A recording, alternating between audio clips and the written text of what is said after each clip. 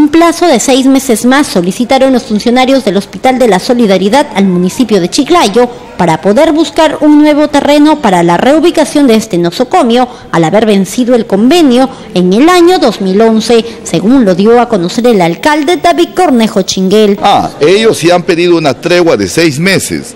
Yo le he dicho que esta tregua es demasiado tiempo y que en todo caso apresuren. Y en lo que mi despacho puede colaborar, porque ella me dijo que no quieren ir a Leonardo Ortiz. Caso en lo que mi despacho puede colaborar adicionando un terreno en la periferia de Chiclayo, yo he pedido a bienes patrimoniales de la gestión municipal, me dé el listado y si encontramos un terreno apropiado, nosotros de mil amores podemos servir. El burgomaestre sostuvo que será en una sesión de consejo que se definirá si se acepta esta nueva prórroga, pese a que en anteriores declaraciones enfatizó en que se daba como plazo hasta fines del mes de marzo para que se retiren del área del Parque Paseo de los Héroes del Pueblo Joven José Olaya.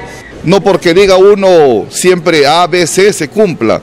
La dura y cruda realidad, no, no, no se trata de que uno cambie de parecer.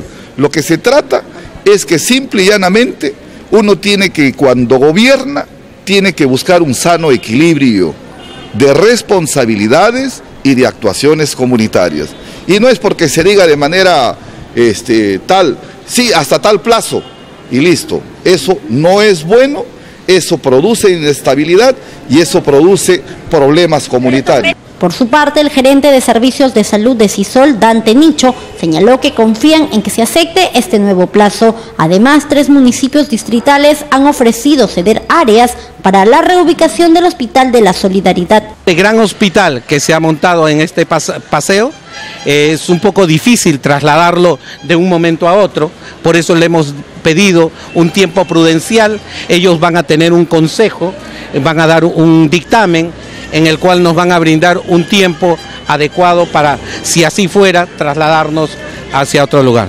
En el 2011 ya la gestión del doctor Castañeda no estaba y han pasado cuatro años y lamentablemente no han podido renovar este convenio. Resaltó en que están trabajando en un proyecto para mejorar los ambientes donde actualmente funcionan los consultorios que son containers.